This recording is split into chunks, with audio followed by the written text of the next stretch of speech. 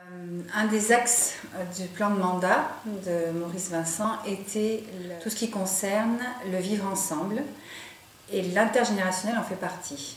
C'est-à-dire que c'est aussi un clivage actuel, euh, le clivage intergénérationnel, et que l'objectif de l'ensemble de la politique municipale est bien de soutenir le vivre ensemble, quelles que soient les populations concernées. Donc il y a différents volets sur ce travail intergénérationnel. Euh, on va voir tout à l'heure donc ce qui a été fait à la crèche Les Petits Matrus. Et on peut prendre aussi l'exemple d'un travail qui a été euh, mis en place euh, par l'école de la terrasse avec la résidence de la terrasse. Les personnes âgées avaient deux enfants avec qui elles faisaient des actions. Ils ont travaillé donc beaucoup autour de la littérature, autour des sciences, des métiers d'autrefois. et les personnes âgées devaient même de leur côté faire des recherches un petit peu pour présenter après euh, aux enfants. C'est aussi tout un travail pédagogique qui est soutenu par l'inspection académique et qui euh, demande un très fort investissement euh, des enseignants.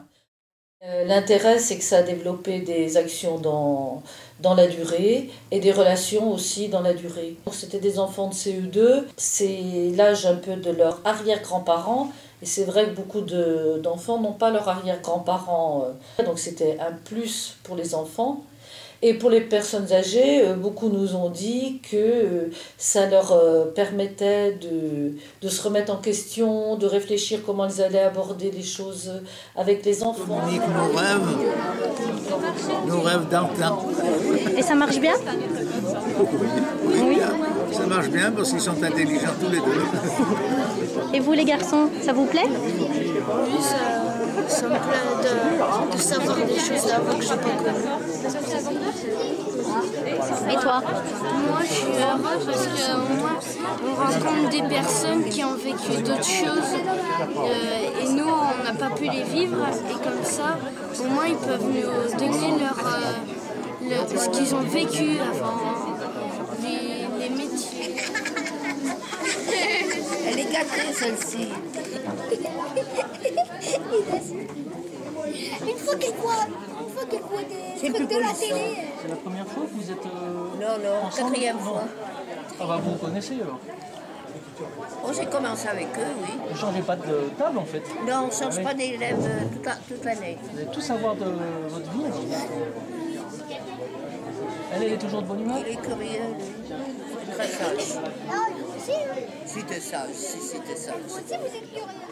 Euh, que ce soit dans les résidences municipales, mais aussi dans des résidences privées, les, échanges entre les résidences, les centres sociaux, les amicales laïques, euh, les écoles se multiplient. Des compagnies de théâtre qui travaillent ensemble, l'école d'architecture euh, de la résidence de Buisson par exemple, des expositions, des spectacles qui se montent, des goûters la maison de retraite Chavanel sont allés apprendre l'informatique avec les terminales de Sévigné. La compagnie EPAL Théâtre qui travaille au Camélia. Partout, il y a des, projets qui se mettent en place. Fort particulier sur la programmation du pass loisir senior cette année avec un spectacle intergénérationnel qui permet euh, aux grands-parents et aux petits-enfants d'aller voir ensemble un spectacle. Ça colore, voilà. Je crois que ça colore petit à petit euh, la ville euh, d'une vraie volonté politique de faire attention à laisser la place qui leur est due et qui est intéressante aux aînés.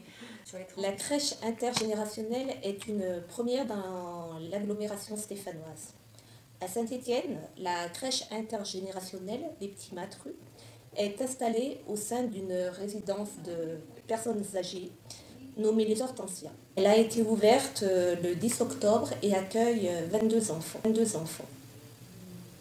Le lien entre les seniors et les enfants se fait quotidiennement à l'occasion d'activités communes tellement variées telles les repas, euh, les activités créatives, la lecture, la cuisine. Des liens affectifs se nouent entre les personnes âgées et les enfants et les personnes âgées se sentent plus dynamisées. Un peu de distraction, on les regarde s'amuser et quand ils viennent manger, c'est un plaisir de les voir à table. On leur dit un petit mot en passant, ils nous font un large sourire et puis ils nous montrent leurs photos.